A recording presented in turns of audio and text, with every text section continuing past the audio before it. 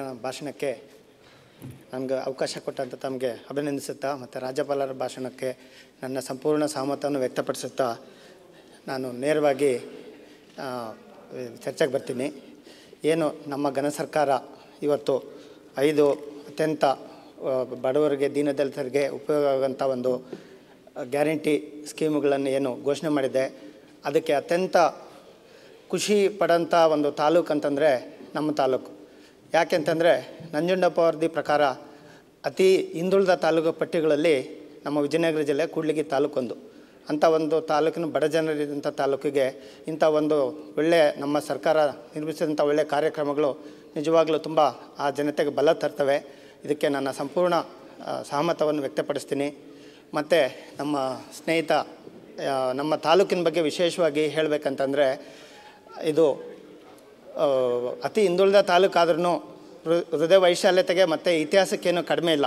ವಿಜಯನಗರದ ಇತಿಹಾಸ ಉಳ್ಳ ಒಂದು ನಮ್ಮ ಜಿಲ್ಲೆ ವಿಜಯನಗರ ಅಂತ ಒಂದು ಇದರಲ್ಲಿ ಇವತ್ತು ಹಾಳೆಂಪು ಹೆಂಗಿದೆನೋ ನಮ್ಮ ತಾಲೂಕಿನ ಪರಿಸ್ಥಿತಿ ಆ ಥರ ಆಗ್ಬಿಟ್ಟಿದೆ.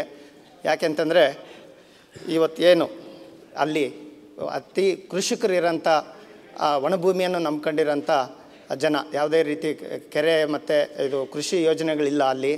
ಮತ್ತು ಶಾಲಾ ಕಾಲೇಜುಗಳು, ಕಟ್ಟಡಗಳು, ಮತ್ತು ಆರೋಗ್ಯಕ್ಕೆ ವಿಶೇಷವಾಗಿ ಆರೋಗ್ಯ, ಶಿಕ್ಷಣ, ಪರಿಸರ ಮತ್ತು ಉದ್ಯೋಗ ಅವಕಾಶಗಳು. ಉದ್ಯೋಗ ಅವಕಾಶಗಳಂದರೆ ಎಲ್ಲ ಅಲ್ಲಿ ಕೃಷಿಯೇ ಒಣ ಕೃಷಿಯನ್ನು ನಂಬಿರೋಂಥ ಜನ ಗುಳೆ ಹೋಗ್ತಾರೆ.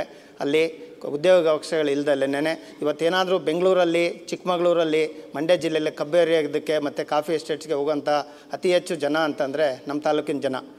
ಎರಡು ಸಾವಿರದ ಹದಿಮೂರರಲ್ಲಿ ಮತ್ತು ತೊಂಬತ್ನಾಲ್ಕರಲ್ಲಿ ನಮ್ಮ ತಂದೆ ಶಾಸಕರಾದಂಥ ಸಮಯದಲ್ಲಿ ಉದ್ಘಾಟನೆ ಆದಂಥ ತಾಲೂಕು ಆಸ್ಪತ್ರೆ ನೂರು ಬೆಡ್ಗಳದ್ದು ಮತ್ತು ಡಿಗ್ರಿ ಕಾಲೇಜು. ಅದ್ರ ನಂತರ ಆವಾಗ ಆಗದಂಥದ್ದು ಯಾವುದೇ ರೀತಿ ಮುಂದಕ್ಕೆ ಉನ್ನತೀಕರಣ ಆಗಿರೋದಿಲ್ಲ.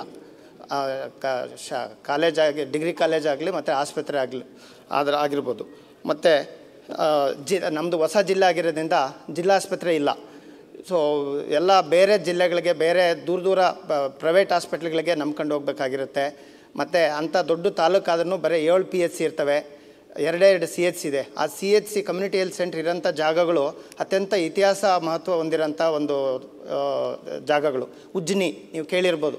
ಇಡೀ ಪಂಚಪೀಠಗಳಲ್ಲಿ ಒಂದಾದಂಥ ಒಂದು ಗ್ರಾಮ ಅದು ಹೋಬಳಿ ಅದು ಉಜ್ನಿ ಅದು ಎಲ್ಲ ರೀತಿ ಮೂಲಭೂತ ಸೌಕರ್ಯಗಳಿಂದ ಹಿಂದೆ ಬಿದ್ದಿದೆ.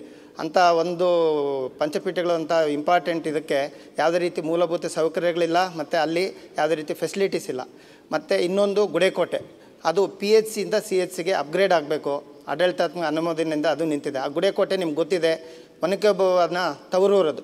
ಅದನ್ನು ಯಾವುದೇ ರೀತಿ ಮುಂದೆ ಅದು ಅದು ಹಾಳು ಊರು ಇದ್ದಂಗಿದೆ, ಯಾವುದೇ ರೀತಿ ಉದ್ಧಾರ ಆಗಿರೋದಿಲ್ಲ. ಅಲ್ಲೆಲ್ಲ ತುಂಬ ಬಡವರು ಇರೋಂಥ ಜಾಗ. ಅಲ್ಲಿ ಅತಿ ಜರೂರಾಗಿ ಅಲ್ಲಿ ಕಮ್ಯುನಿಟಿ ಹೆಲ್ತ್ ಸೆಂಟರ್ ಆಗಬೇಕಾಗಿದೆ.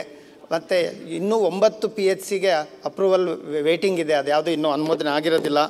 ಮತ್ತು ಇಡೀ ಇದಕ್ಕೆ ಒಂದೇ ಒಂದು ತಾಲೂಕು ಆಸ್ಪತ್ರೆ, ಇನ್ನೂ ಎರಡು ಸಾವಿರದ ಎರಡು ಮೂರರಲ್ಲಿ ಸೋನೆ ಪ್ಯಾಕೇಜಲ್ಲಿ ಗ್ರ್ಯಾಂಟ್ ಆಗಿರೋಂಥ ಕಟ್ಟಡಗಳು ಮತ್ತು ವಸತಿ ಪ್ರದೇಶಗಳು ಅರ್ಧಕ್ಕೆ ನಿಂತು ಯಾವುದೇ ರೀತಿ ಅಲ್ಲಿ ಮುಂದೆ ಕೆಲಸಗಳಾಗಿರೋದಿಲ್ಲ.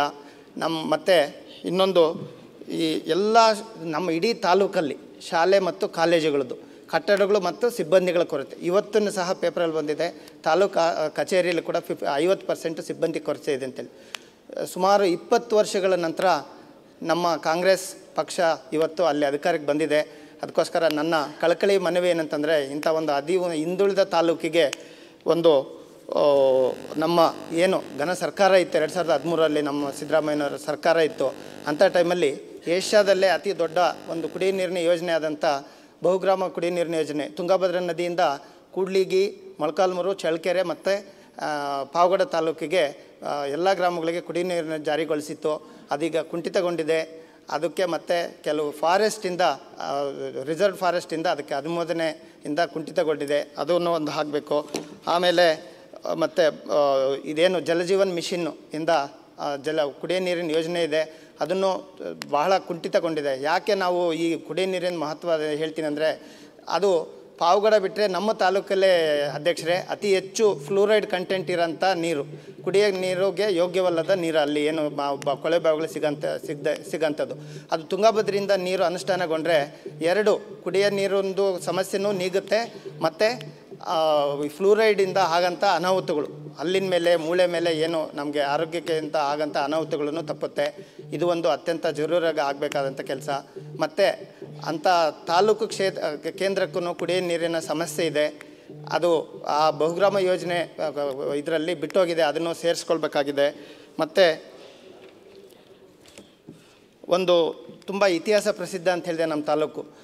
ಸುಮಾರು ವಿಜಯನಗರ ಕಾಲದಲ್ಲಿ ಇರೋಂಥ ಒಂದು ಅತ್ಯಂತ ಹಳೆ ದೇವಸ್ಥಾನ, ಐನೂರು ವರ್ಷಗಳಿಗಿಂತ ಹಳೆ ದೇವಸ್ಥಾನ ಒಂದಿದೆ. ಕೈವಲ್ಲಾಪುರ ದೇವಸ್ಥಾನ, ವೆಂಕಟೇಶ್ವರ ದೇವಸ್ಥಾನ ಅಂತೇಳಿ. ಅದನ್ನು ಅತ್ಯಂತ ಶಿಥಿಲಗೊಂಡಿದೆ. ಮತ್ತು ಹೊಯ್ಸಳರ ಕಾಲದ ಒಂದು ದೇವಸ್ಥಾನ, ಗುಣಸಾಗರ ಅಂತ ಒಂದು ಗ್ರಾಮ ಇದೆ. ಅಲ್ಲಿ ಶ್ರೀಕೃಷ್ಣನ ದೇವಸ್ಥಾನ ಇದೆ. ಅದನ್ನು ಕೂಡ ಅತ್ಯಂತ ಶಿಥಿಲಾವಸ್ಥೆಯಲ್ಲಿದೆ.